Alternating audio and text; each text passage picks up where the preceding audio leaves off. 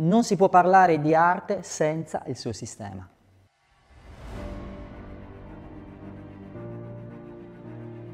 Nuovi protagonisti e nuove professionalità intervengono rendendo il sistema dell'arte più complesso ma completo. Figure sempre più specializzate e settorializzate in una gestione contemporanea intervengono su aspetti come il diritto d'autore, la commercializzazione, la contrattualistica, i passaggi generazionali, la certificazione, la fiscalità, la digitalizzazione ed infine anche la riproduzione.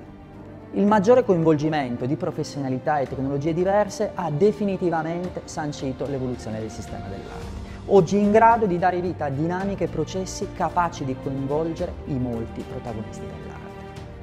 Artisti, galleristi, curatori e critici stanno sempre più diventando parte integrante e consapevole di un sistema arte, con ingranaggi e meccanismi finalmente più trasparenti grazie anche alla facilità all'accesso delle informazioni in rete.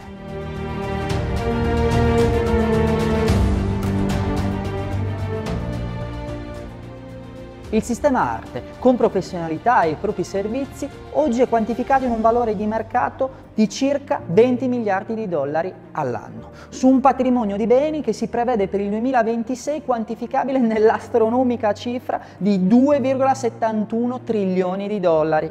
Sono le attività di servizio di cui meno si parla a concorrere al sostegno del mercato più complessivo, rivestendo un ruolo fondamentale con le molte professionalità.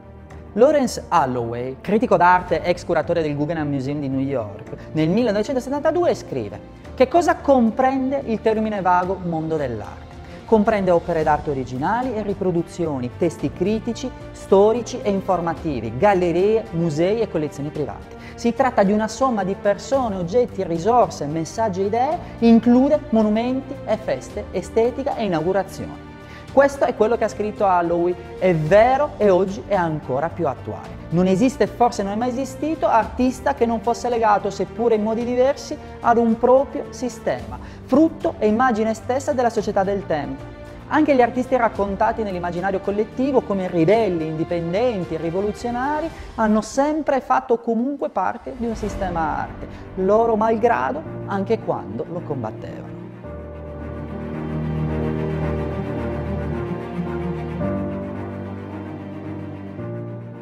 Oltre alle figure note di artisti, galleristi, collezionisti, storici dell'arte o direttori di musei e fondazioni, all'interno del mio libro, Professione Arte, troverai le figure dei legali, fiscalisti, wealth manager, degli esperti di art lending e ancora specialisti in comunicazione, conservazione, trasporto e assicurazione esclusivamente di opere d'arte. Il sistema dell'arte coinvolge numerose e diverse professionalità che intervenendo per la fruizione, valorizzazione, conservazione, tutela e vendita di oggetti e opere d'arte hanno dato vita a un mercato mondiale diventato miliardario. In questo contesto estremamente articolato per essere un artista, un collezionista o un professionista di successo è fondamentale conoscere non solo i protagonisti del mondo dell'arte, ma anche le dinamiche che ne regolano l'andamento e il suo mercato. Le nuove tecnologie, i social network, gli innovativi modelli di business e le inedite strategie stanno rivoluzionando un sistema basato su solide abitudini, creando così nuove opportunità e soprattutto nuove professioni.